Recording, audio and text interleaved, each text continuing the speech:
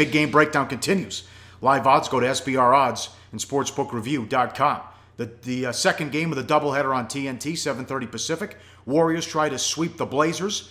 Golden State is 7, 220 the total. 121 to 109, 110 to 81, and 119 to 113, the big comeback on Saturday night. No Kerr. Durant's questionable. So was Livingston. And the Blazers had a 13 point halftime lead. And this has been a problem the entire season. They had 67 points at the half and then fell apart in the second half. Golden State outscored them 65 to 46 first half. Lillard and McCollum 39 points combined. Curry and Thompson 22. Portland won the boards 23 to 12. Second half, Lillard and McCollum 24, Curry and Thompson 36. Golden State won the boards 24 to 18. Now, it's Mike Brown again, and who knows when Kerr is coming back, Teddy. What does this mean for Golden State if they if they might not have the 2000 uh, the uh, coach of the year a couple years ago? Yeah, I mean, certainly Mike Brown is not a coach who either you or I has seen a lot of that we admire in their career. And certainly Steve Kerr has earned our admiration given the success that he's had both in the regular season and in the playoffs coaching this particular Warrior squad. So there is something of a drop off there. The question is how much? How do you quantify it? Is it worth a half point? Is it worth two points?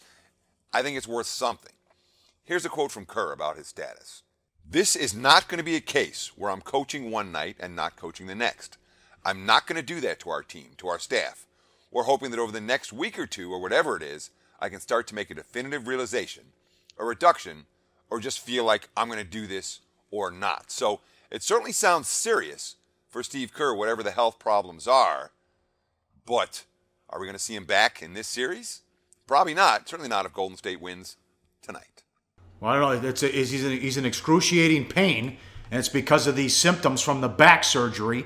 And he said, any advice to people with back pain, don't get surgery. Tiger Woods just had his fourth surgery as well. So he's nauseous, and uh, trying to talk to a doctor.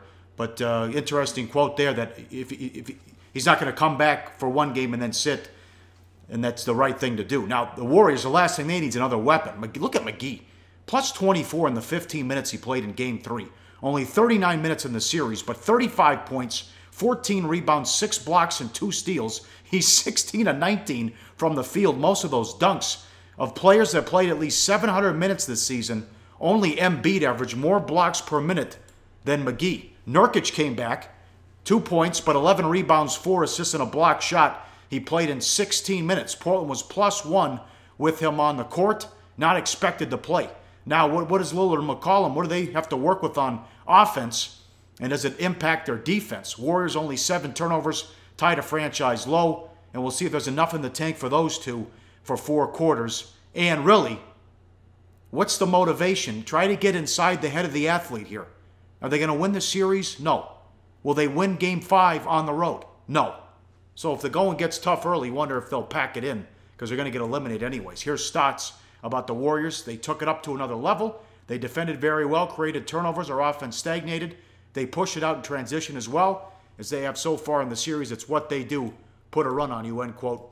And he's right about that. I mean, this team, what is it, six six times they've been down 15 points in the playoffs the last few years, come back to win, and they did it again. That's the TNT doubleheader. Hey guys, for the full video, go to sbrpicks.com. Hey guys, thanks for tuning in to our channel. Now we've put a lot of work into producing all these free videos, so please help us out and keep all our content free for you forever by simply liking, sharing, commenting, and subscribing. Now, not to mention, a visit to our industry leading website will warm the hearts of all our SBR employees, especially myself. Now, the links are over there to the left, uh, so do check those out. Thanks for watching.